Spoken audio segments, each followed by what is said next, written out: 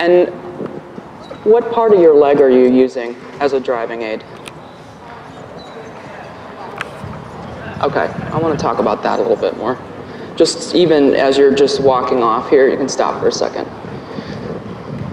So what I want you to think about is instead of going working off this, that you work off your upper calf Okay. instead, and that this is a little bit softer through there. So this is your main point of driving. This is oh, when you go forward, you know, Robert was talking about in the lecture when you close your leg and you close your hand, recycles trots off, starts from up here. And I squeeze with both my legs to make them go forward. And if they don't go forward, I squeeze until they run. Okay. Okay? And if they really don't go forward, I turn my toe out and stick my spur in them until they run. Okay. Okay? So that you're not riding around here going, please, please, please, please, please. Okay?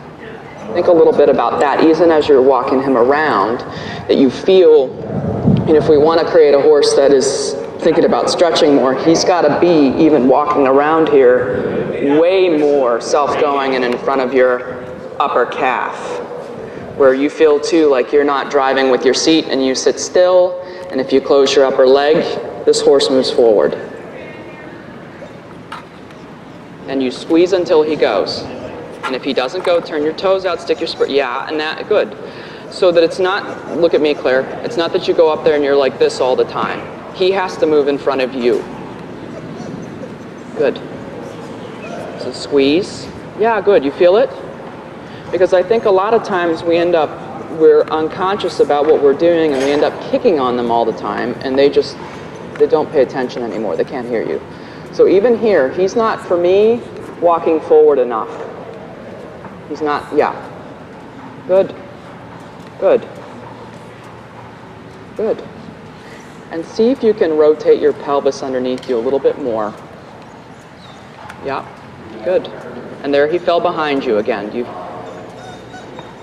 so that you have the feeling in the in the walk, no matter what you're doing, if it's a collected walk or an extended walk or a medium walk, this horse is actually moving forward within the rhythm all the time and you're not driving him there. He's taking the initiative to, to be in front of you. So squeeze. Yeah, that's right. And then leave him alone. Good. And then you sit still and you, uh, let's say, allow him. There you felt him back off, right? So squeeze again. Yeah, good. There you go. And then leave him alone. So that's for me bare minimum right there.